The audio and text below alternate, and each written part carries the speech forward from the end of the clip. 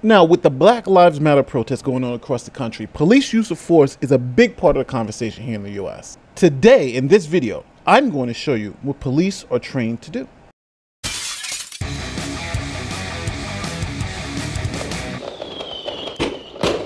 If it's your first time here, welcome to the channel. My name is Nate the Lawyer. I'm a former law enforcement officer, former prosecutor, and currently I'm a licensed attorney. Today I'm going to show you the constitutional law behind police use of force and how law enforcement agencies have turned that constitutional law into policy. I'm also going to show you how police must obey those policies because if the officer does not obey the policy of their department, that could mean the difference between a life sentence and a justified use of force. Now, for full disclosure, this topic takes hours to teach. I maybe have 20 minutes. So understand this is a simplified version. And as always, this is not legal advice. And there are some references of case law in the description if you want to delve deeper. Now, first, as always, we start with the law. And there are two cases that set out the standard for police use of force in the United States. Those are Tennessee v. Garner and Graham v. Connor. Now, we went over the facts of these cases in our previous video, so I'm not going to do that again, but it's important to understand the rules that come out of this case. So let's start with Tennessee v. Garner. In that case, the Supreme Court said that police cannot use deadly physical force against a fleeing felon unless they pose a serious threat of violence to the officers of the community. This was our serious threat threshold. Now, in a later case called Graham v. Connor, the court modified this rule. Now, in Tennessee v. Garner, the rule was against a fleeing suspect, but here the court said whether against a fleeing suspect or otherwise, the analysis should still be the same. See, the Supreme Court demanded that a particular application of force must be judged through the perspective of a reasonable officer facing the same set of circumstances without the benefit of 2020 hindsight and based on the totality of the facts that are known to that officer at the time force was used. This was known as the objective reasonable standard. Now, the main point of this change was the question of what would a reasonable officer do? So, the next logical question to ask is what is a reasonable officer? How would the court know? How would an officer know what a reasonable officer would do? Well, the Graham court gave us some factors to help us determine what a reasonable officer would do. The Graham court believed that a reasonable officer would first take into account what the severity of the crime was. Are we going to an armed bank robbery in progress or is it a noise complaint? Based on the severity of the crime, the officer's response or use of force will be different. Was the suspect an immediate threat? That should seem familiar to you because that's Tennessee v. Garner. And another factor the court listed was was the suspect resisting arrest? Obviously, if a suspect is resisting arrest, police have to use force to subdue that suspect. Now, the court made it very clear this was not an exhaustive list. Now, to comply with the constitutional requirements set forth by the Supreme Court, police academies started developing tools to help officers understand what a reasonable officer would do in various situations. This brings us to the use of force continuum.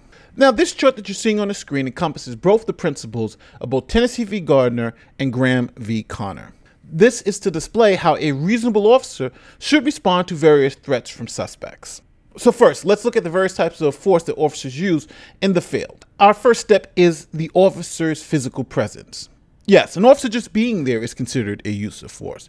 Remember, the standard requires a threat or a threat of violence. Check out this show of force from the NYPD. Again, just with officers' presence and not any type of physical interaction. So here in New York City, a show of force by the NYPD. CBS 2's Brian Conybeare is live now in Times Square. More than 500 officers, many with military-style assault rifles, are now deployed at key transportation hubs like Grand Central, Penn Station, the airports, and other landmarks as a deterrent. The National Guard also mobilized 400 troops around the city Tuesday, all for one simple reason. We are the number one terrorist target in this country and potentially in the world. Police Commissioner Bill Bratton joined Mayor de Blasio on a tour of the Times Square subway station to reassure people. So, if you have one officer, two officers, or nine officers, the officer's presence is considered a use of force and would be the first step in our pyramid to move up the use of force continuum. The second level of force officers can employ are verbal commands, telling the suspect what to do. Stop, put your hands up, stop resisting. Here are some examples of officers giving verbal commands in different situations. How you doing, Ruffin? Are you fine? Are you fine this morning? Can you just have a seat for me? I, I, I, can you just have a seat for me? Step back.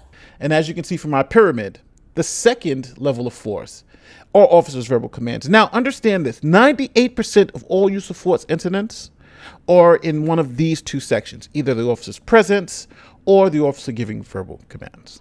Our next level on the use of force continuum is what I like to call open hand contact. This is when the officer physically touches the suspect. We don't have any weapons, we don't have anything. We're just physically putting our hands on the suspect to either control them or even to arrest them. Check out this clip.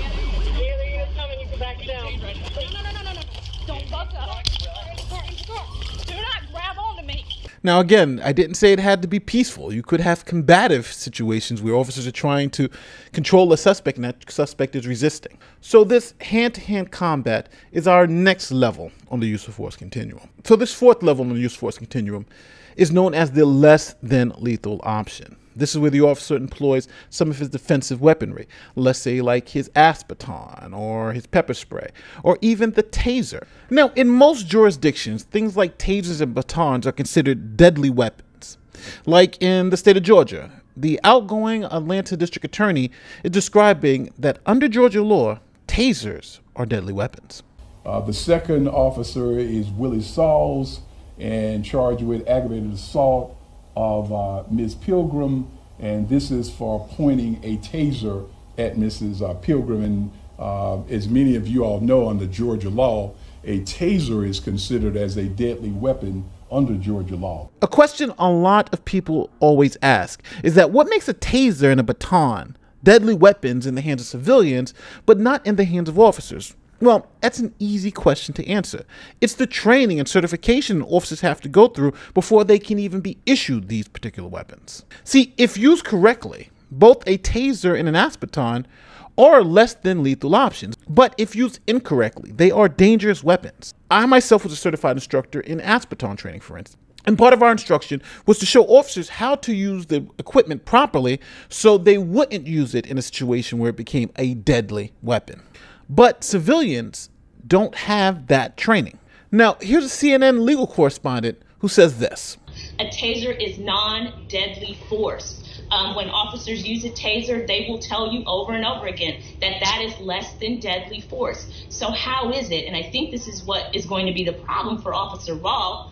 How is it that in the hands of Mr. Brooks, a taser, when an officer uses it, is not deadly force, but somehow becomes deadly force? Now, to answer that question simple.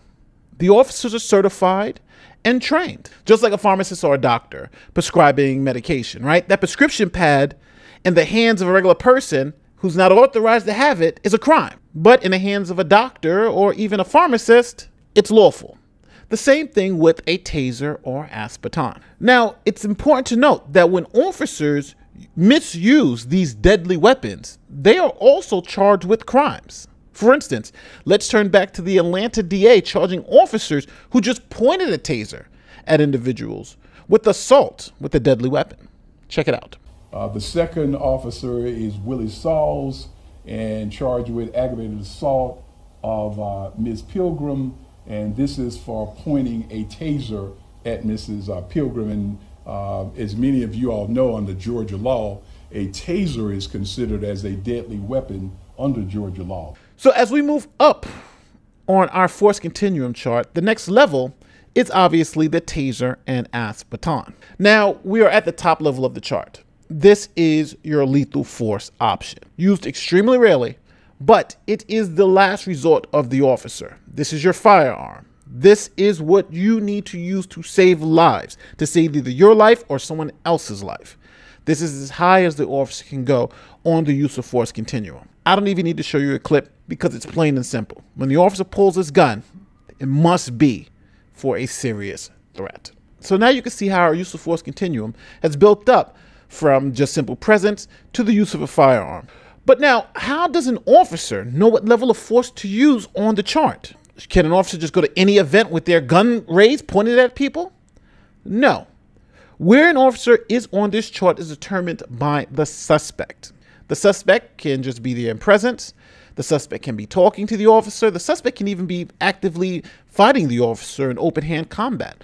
The suspect can have an ASP baton or even some pepper spray. or the suspect could have a firearm. Now, depending on where the suspect is on this chart, that is going to determine where the officer is going to be on this chart. Generally, officers are generally trained to be one level ahead of the suspect. Here's another YouTuber, the Donut Operator, explaining it. When you go to the police academy, you learn about the use of force continuum, which says always be one level above the person you're fighting. Someone's going hands on with you, pull out your pepper spray or taser. If somebody pulls out a knife, pull out your gun. If someone pulls out pepper spray or a taser, also pull out your gun because they can incapacitate you with those. And then they have access to your gun and whatever's in your patrol car. Now, earlier we talked about the Graham v. Connor factors. What were those? Remember, it was the what was the severity of the crime? Was the suspect an immediate threat? And was the suspect resisting arrest? Those were things that reasonable officers would consider before they used force. And it wasn't an exhaustive list. Now, most jurisdictions have created a series of factors that a reasonable officer would consider before applying force. Now, combined with the factors from Graham, they are a powerful tool to assist an officer in judging how much force is appropriate to be used in any given situation. Let's go over some of those factors. First, we have the Graham factors. What is the nature of the crime? Are you going to a bank robbery in progress or are you going to a noise complaint? The second is the suspect's willingness and ability to resist arrest. Is the suspect obeying verbal commands? Is the suspect resisting arrest? The third is the imminent threat to the public. Is there an immediate threat to the public or to self? Is there a weapon nearby?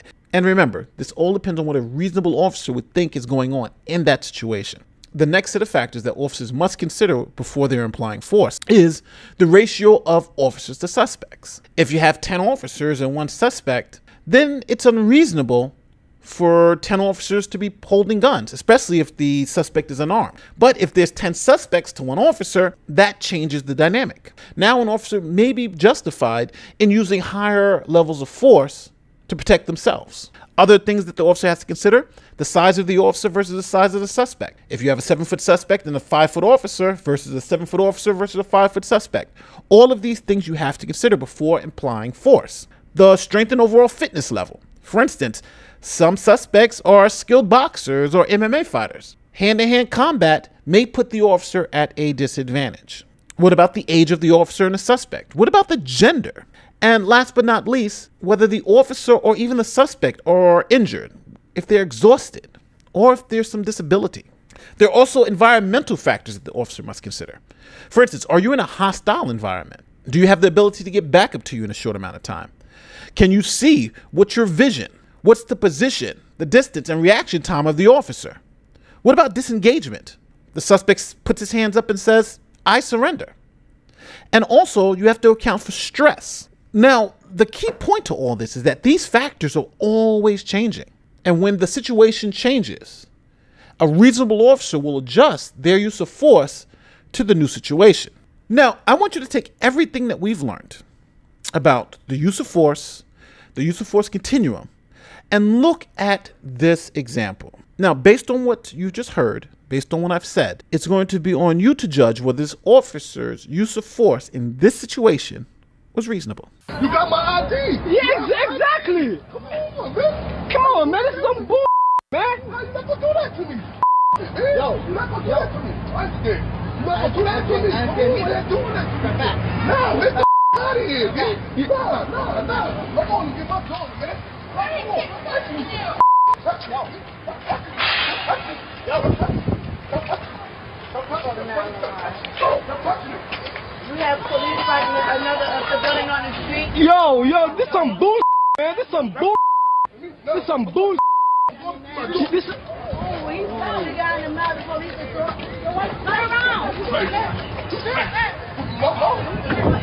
Come on, it's right Eighth Avenue. Let's go. Let's go. Hurry up. This is some bull, man. This is some bull. This is some bull, man. This is some bull. This is some bull. This is some bull, man. This is some bull. This is some bull. This is some bull. I got I got everything on camera.